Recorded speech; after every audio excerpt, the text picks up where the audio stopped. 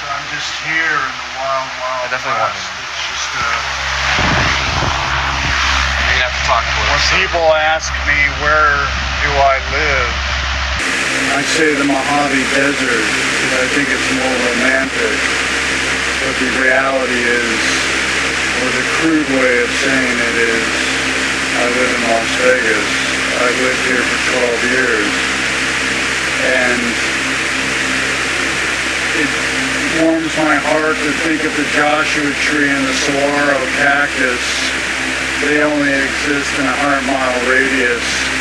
Those are the things that make me stay, that make me stay in the Mojave Desert. Did you know that this is the hottest desert in the world? It's not the Sahara Desert, it's the Mojave Desert. We had a temperature of 130 degrees here one summer. And did you know that this place gets more light than anywhere else in the world? With electricity and the sunlight, all that electricity lighting, lighting up the Las Vegas Strip. How to think about that? All the light in the world right here.